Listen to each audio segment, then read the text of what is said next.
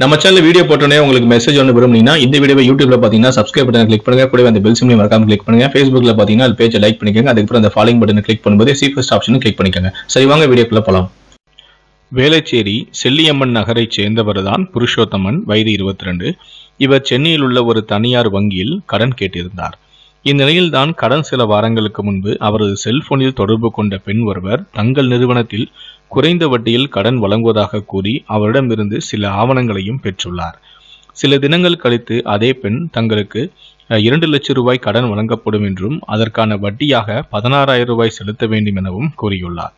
இதையடுத்து இன்சூரன்ஸ் தொகையாக ஏழாயிரம் ரூபாய் செலுத்த வேண்டும் என கேட்டுள்ளார். அந்த பணத்தை செலுத்தியவுடன் மேலும் ஜிஎஸ்டிக்காக மூவாயிரம் ரூபாய் செலுத்த வேண்டும் என கூறி அதையும் பெற்றுள்ளார். இதற்கு அடுத்து மீண்டும் தங்களுடைய சிபில் ஸ்கோரை உயர்த்த வேண்டும் அதற்காக மூவாயிரம் ரூபாய் செலுத்த வேண்டும் எனவும் கூறியுள்ளார். பணத்தை கடன் கொடுக்கும் தொகையில் இருந்து கழித்துக் கொள்ளுமாறு புருஷோத்தமன் கூறியுள்ளார். இதையடுத்து அந்த பெண் தொலைபேசியை துண்டித்தும் விட்டார். பின்னர் தொடர்பு கொள்ளவும் இல்லை. இதனால் சந்தேகமடைந்த புருஷோத்தமன் இது குறித்து அடையா சைபர் கிரைம் காவல் நிலையத்தில் புகாரும் கொடுத்தார். அதன் பேரில் போலீசாரும் விசாரணை நடத்தினார்கள்.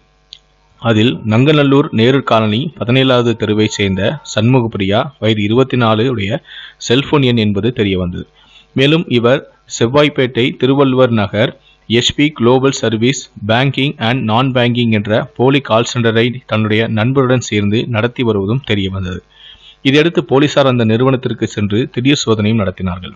அங்கிருந்த சண்முகப்பிரியா மற்றும் செவ்வாய்ப்பேட்டை நியூ காலனி காமராஜர் தெருவைச் சேர்ந்த பிரேம்நாத் வயது முப்பது ஆகியோரையும் கைது செய்து நடத்திய விசாரணையில் இருவரும் ஏற்கனவே நெம்லஞ்சேரியில் உள்ள ஒரு கால் சென்டரில் பணிபுரிந்தும் உள்ளனர். அப்போது இருவரும் பழக்கமாகி கடந்த ஒரு வருடத்திற்கு முன்பு இந்த போலி கால் சென்டரை துவங்கி பல்வேறு சேவைகளையும் வழங்கும் தனியார் வலைத்தளங்களிலிருந்து கடன் தேவைப்படுபவர்களின் விவரங்களையும் சேகரித்து அவர்கள் தொலைபேசி எண்களுக்கு தொடர்பு கொண்டு பேசி பலரிடம் மோசடியிலும் ஈடுபட்டதும் தெரியவந்தது.